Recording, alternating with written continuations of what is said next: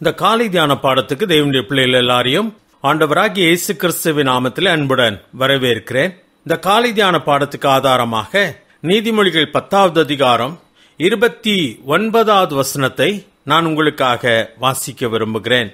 நீதிமொழிகள் பத்தாவது அதிகாரம் இருபத்தி ஒன்பதாவது வசனம்.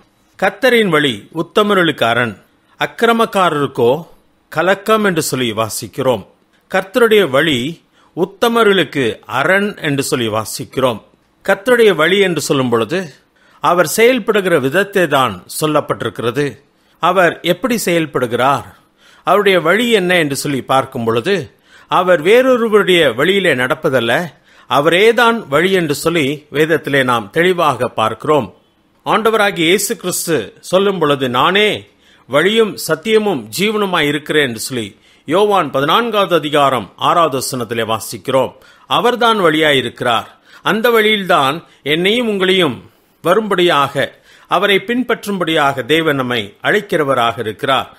அவருடைய வழியிலே நாம் நடக்கும் பொழுது நாம் ஒரு காலும் இடறிப் போவதில்லை தாவிது சொல்லும் பொழுது ஆண்டவரே உம்முடைய வசனம் என் கால்களுக்கு தீபமும் பாதைக்கு வெளிச்சமுமாய் இருக்கிறது என்று சொல்லி அந்த பாதையிலே நடப்பதை பற்றி சொல்கிறார். அவரை நாம் பின்பற்றி நடக்கும்போது அந்த வழி சத்தியமாய் இருக்கிறதாம் அதாவது அந்த வழி நம்மை ஏமாற்றாது. நாம் ஒரு காலம் வெட்கப்பட்டு போவதில்லை என்பது அதனுடைய பொருளாக இருக்கிறது. அதோடு கூட அதனுடைய முடிவு அந்த பாதையின் பலன் என்னவாக இருக்கிறது என்று சொன்னால் நித்திய ஜீவன் என்று சொல்லப்பட்டிருக்கிறது.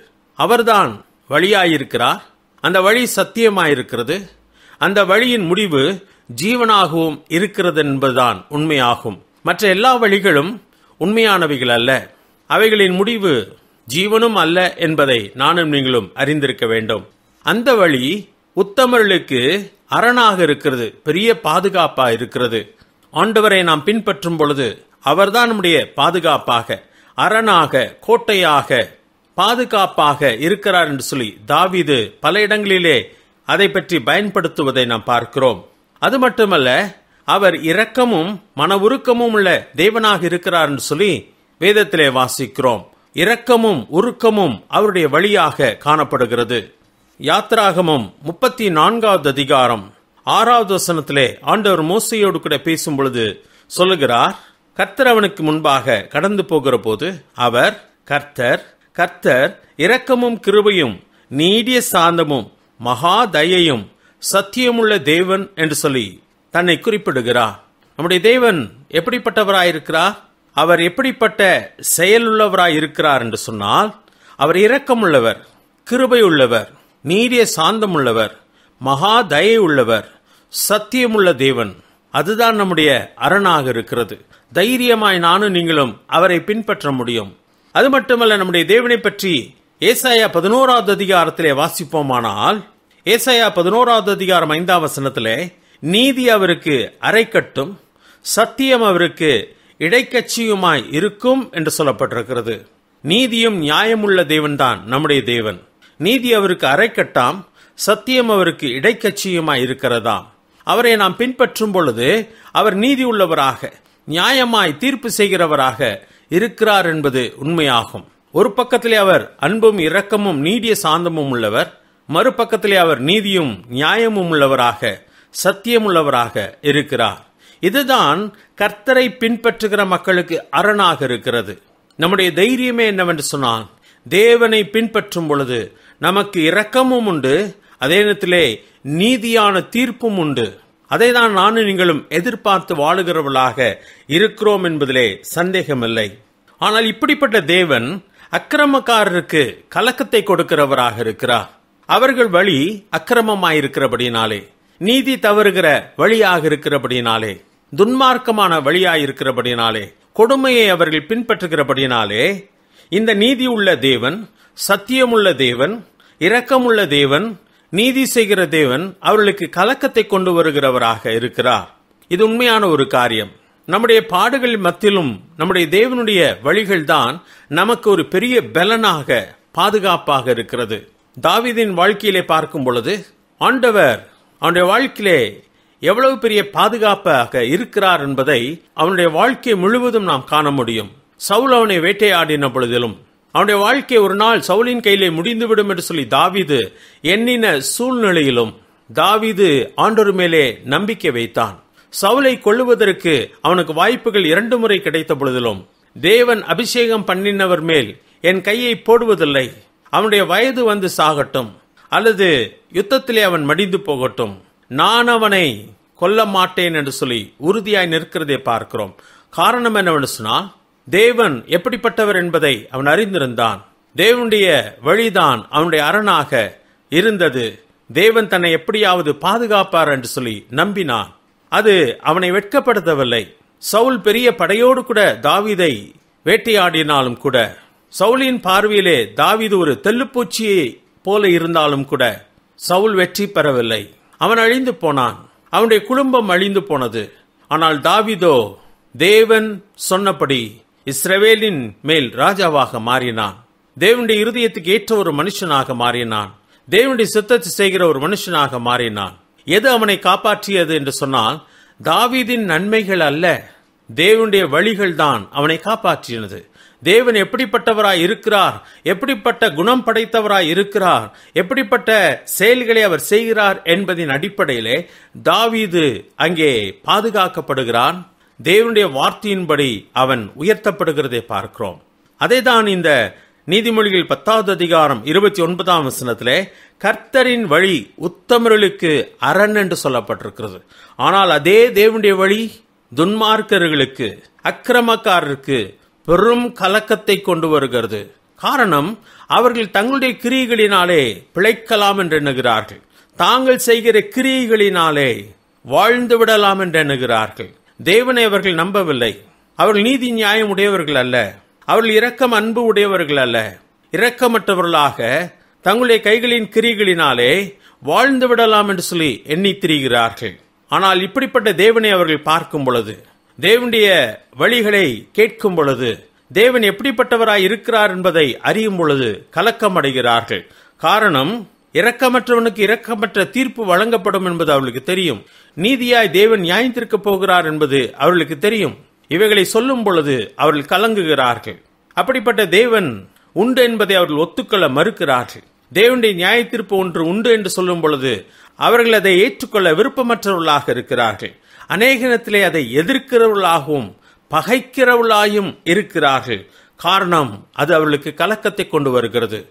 பரிசுத்த வேதாந்தத்தை சிலரிடத்திலே கொடுக்கும் பொழுது அவர்கள் கலக்கமடைகிறார்கள். அதை பார்க்க பயப்படுகிறார்கள். அதை வாங்க தடுமாறுகிறார்கள். யாருக்கும் அதை கொடுக்கக்கூடாது என்று சொல்லி எதிர்க்கிறார்கள். ஏன்?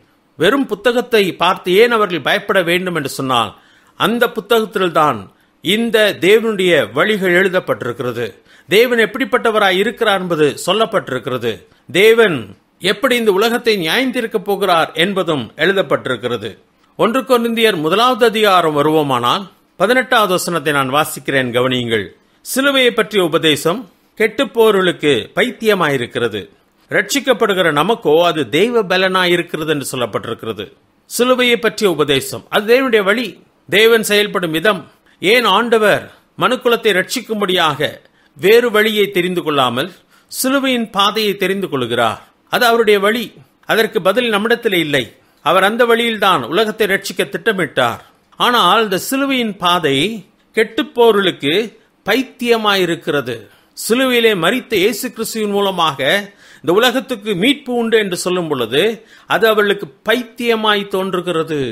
ஆனால் ரட்சிக்கப்படுகிற நமக்கோ அது தெய்வ பலன் என்று சொல்லி வாசிக்கிறோம். மறித்து போன மனிதனை உயிரோடு கூட எழுப்பும் பலன் அந்த சிலுவையின் உபதேசத்திற்கு உண்டு. இதை உலகத்தால் ஏற்றுக்கொள்ள முடியவில்லை. உலகத்தால் நம்ப முடியவில்லை. உலகத்தின் ஞானத்திற்கு அது பைத்தியத்தை போல தோன்றுகிறது. ஒரே உபதேசம்தான் ஒருவருக்கு தெய்வ பலனாகவும் ஒருவனுக்கு அது பைத்தியமாகவும் தோன்றுகிறதே. அதை தான் இந்த நீதிமொழிகளிலே வாசிக்கிறோம். கர்த்தரின் வழி உத்தமருக்கு அரண் அக்கிரமக்காரருக்கோ கலக்கம் என்று சொல்லி வாசிக்கிறோம்.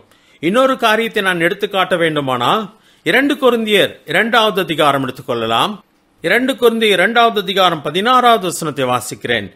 கெட்டு பொருளுக்குள்ளே மரணத்துக்கு ஏதுவான மரண வாசனையாகவும் ரட்சிக்கப்படுவர்களுக்குள்ளே ஜீவனுக்கு ஏதுவான ஜீவ வாசனையாகவும் இருக்கிறோம். இவைகளை நடப்பிக்கிறதற்கு எவன் தகுதியானவன் என்று சொல்லி பவுல் எழுதுகிறார்.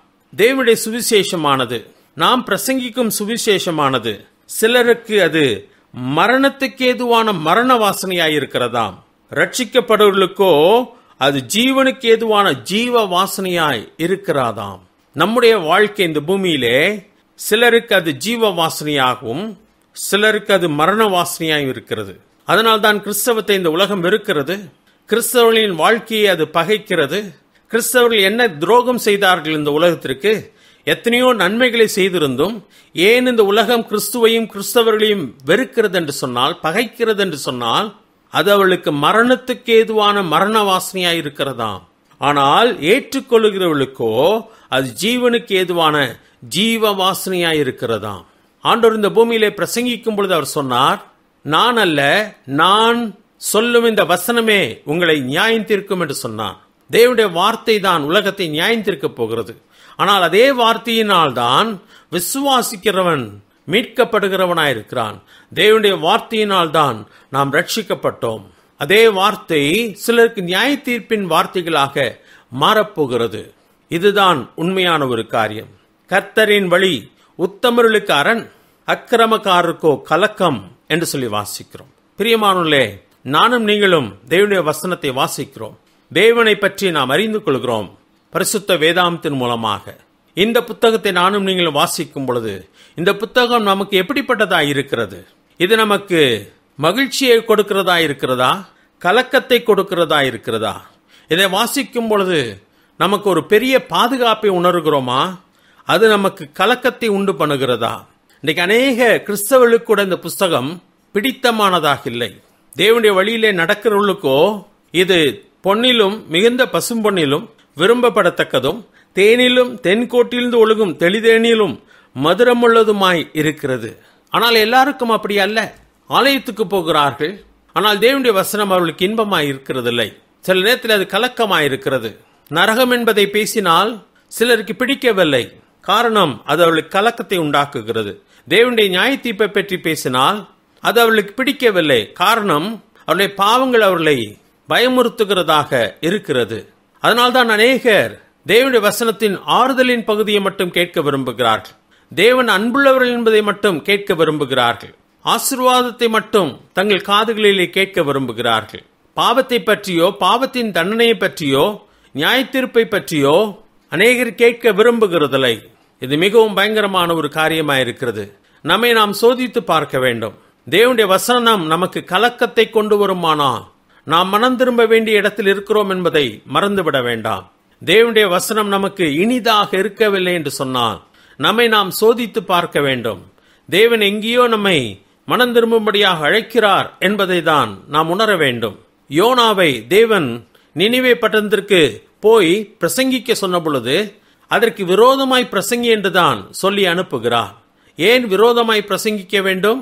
அவள் மனம் திரும்பாததினாலே தேவனுடைய வார்த்தை அவளுக்கு விரோதமாயிருந்தது. ஆனால் என்றைக்கு அந்த வார்த்தையை கேட்டு அவர்கள் மனம் திரும்பினார்களோ அதே வார்த்தை அவளுக்கு ரட்சிப்பின் வார்த்தையாக மாறிற்று. அந்த வார்த்தை அவர்களை பாதுகாத்தது.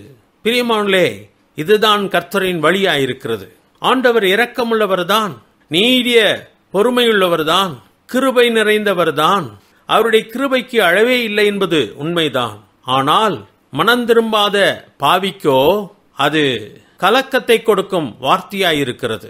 இதுதான் உண்மையான ஒரு காரியம். அதைதான் அழகாக நீதிமொழிகளிலே நாம் வாசிக்கிறோம். கர்த்தரின் வழி உத்தமர்களுக்கு அரண் அக்கிரமக்காரருக்கோ கலக்கம் என்று சொல்லி. அவருடைய வாழ்க்கையில தேவனுடைய வசனம் பிடிப்படதாய் இருக்கிறது என்பதை நாம் சோதித்து பார்க்க வேண்டும். தேவனுடைய வார்த்தையை நாம் விரும்புகிறோமா? அதை நேசிக்கிறோமா? அதை வாசிக்கிறோமா?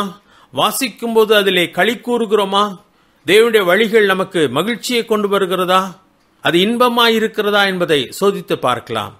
அதற்கு எதிர்மாறாக இருக்குமானால் நாம் நம்மை சோதித்து தேவன் விரும்புகிற காரியத்திலே மனம் திரும்புவது நலமானதாயிருக்கும். நம்மை நாமே சோதித்து பார்க்கலாம். கத்ததாம் இந்த வார்த்தைகளை ஆசீர்வதிப்பாராக. ஆமேன்.